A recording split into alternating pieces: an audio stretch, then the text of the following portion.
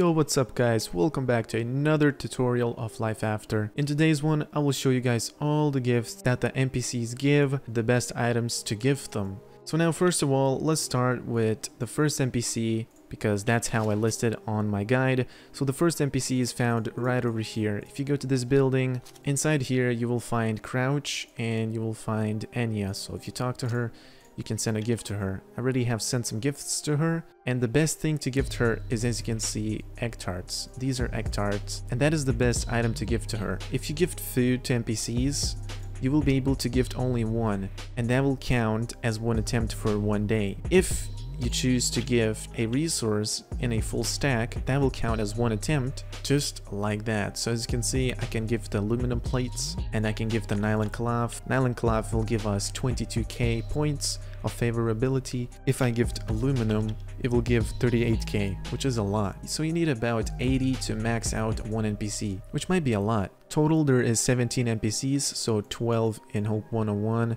and 5 in Sandcastle. Anyways, I will gift Enya this egg tart and it will give us 1k 250 points. So as you can see, I have 15k. If I gift one, now it's 16k. So you can gift any food. Enya likes bread with jam too, so you can gift that. But everything is listed on this guide where you should be gifting to every of this NPCs, as you can see, and all the types of food. These meat skewers right over here, for example, Crouch meat skewer, I did not know what else to give them, so the cheapest one is meat skewer. If you're a pay-to-win player, you can of course just gift aluminum plates, which is better. And as you can see, pay-to-win players can donate just aluminum plates, screws, nylon cloth, and that's enough. But yeah, I will go through all the NPCs and show you guys where they're located. So now Enya, I will not gift her anything else. So this is where you find Enya. So next NPC is Tom.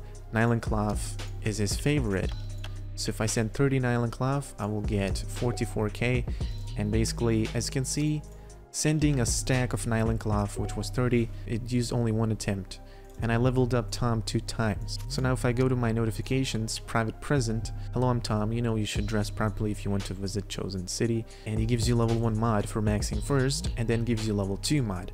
Then he will give you level 3, and then level 4. It happens the same with armor mods and with weapon mods. Moving on, next NPC you should donate is Vincent. He's located in the town hall of Hope 101, right over here. If you go inside this town hall, he'll be right here. You just have to turn right and here's Vincent. Talk to him, send gift. His favorite material is cypress leaves. You can send a hundred of cypress leaves and that will count as one so 100 cypress leaves i don't know how much that will be but i think you will get a lot of points if you of course don't have cypress leaves and you want to go for the cheapest method you can just send a meat skewer and just send 10 meat skewers every day and that's gonna be 3.5k every day if you send meat skewers in green. You can make a meat skewer with one green meat and three common berries which is extremely cheap so that's how you can get those points up. But of course if you want to have a faster way you have to donate higher tier materials such as aluminum plates and you know or just the best dishes which they really like. Next NPC is Fernando, this one right over here.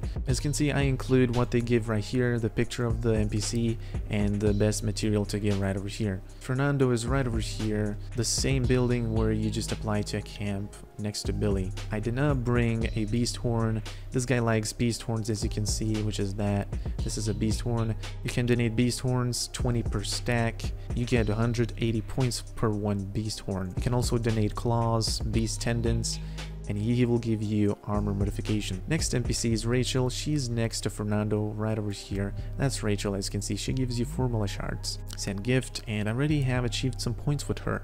The best material to give her is cup of milk. As you can see, one cup of milk will give 1250 points. Making cup of milks is pretty cheap, so all you need is just 4 milk. Just buy some cows, grow some cows in your base, and just use the 4 milk to make cup of milk, like this. And I'll just donate one, and as you can see, that's how much you get. Next NPC is Rapunzel, I don't know how you spell him. He's located by just going north, straight north, until you find this steak house, and that's Rapunzel right over here. Each NPC has 100k points, if you guys did not know yet.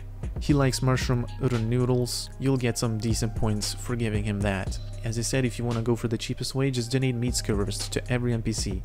It will take you a while to max it out, but it still helps. So that gives you formula shards. Next is Hater. He's located in the market in Hope 101 Market, which is right over here. he will be at the very corner. And note guys, to get this NPC to show up, first you have to complete some quests on the quest board next to Rachel. And he gives you formula shards too. Best to donate is egg tarts for hater. Crouch, I do not know the favorite item for Crouch, but as I said, the cheapest one is meat skewers. And the most expensive one, you can donate either screws, aluminum alloys, and nylon cloth. Nylon cloth isn't that expensive, so you can go for nylon cloth or crouch if you want to. It gives formula shards too, and that's it. Crouch is located in the same building as Enya. If you go here inside and turn left, here you will find Crouch. Stephen is located in the same building as Rapunzel. The steak house, if you go inside the steak house, you will find him right over here. I don't know his favorite material, meat skewer is probably the cheapest one, and as I said, you can go for aluminum. Looks like this guy loves aluminum. Most favorite material for Stephen is aluminum. If you gift a full stack of aluminum to him, he will give you 77k points. So one aluminum alloy will give 2.5k which is a lot. So you can basically max him out pretty fast with this aluminum. Next up, Ivan. He gives you skill points and he's located in the weapon shop in Hope 101. And his favorite item is hard aluminum alloy once again. As you can see, if you send 30, you will get 77k. Now he gives you skill points, so I do not know. I need skill points for this guy. I don't want to waste this aluminum alloy. But yeah, that's his most favorite item. Next is Judy. She's located at the same place where Vincent is in the town hall. She's right over here next to Chris and Vincent.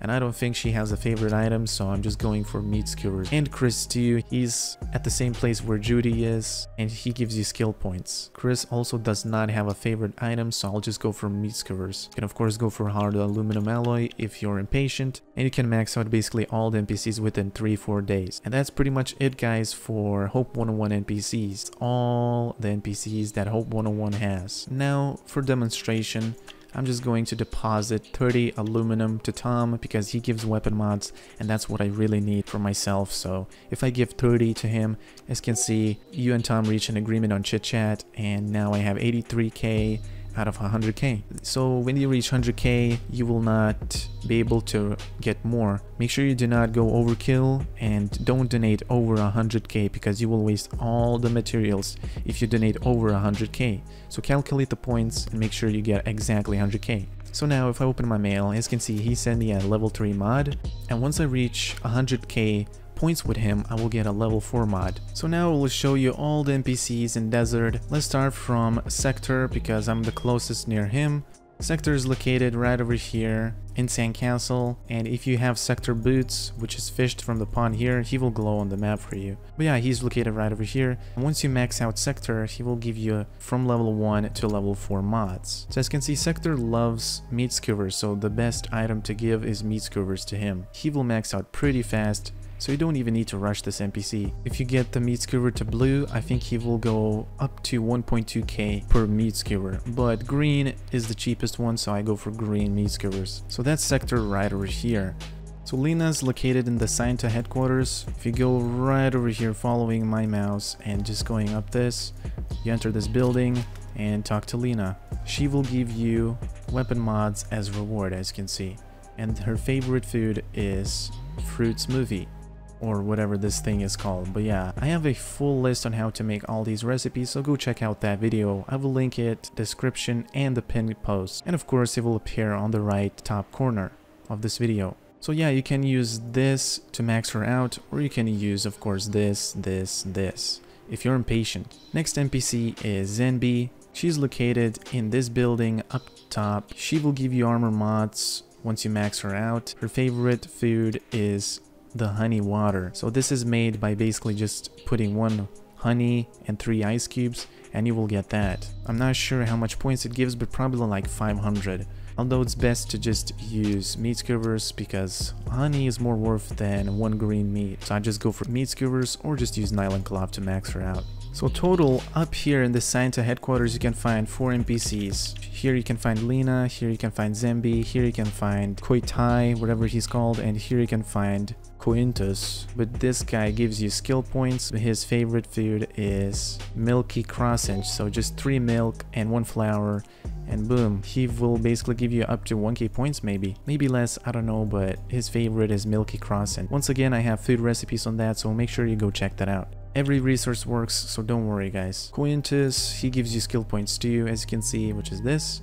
And the best material to donate is aluminum alloy. I think one aluminum will get him to like 2.5k points. They give skill points, so they should be maxed out the last, because you will need a lot of skill points for maxing out your skills on late game. Last NPC which I didn't show is Sextius. Yeah, dude.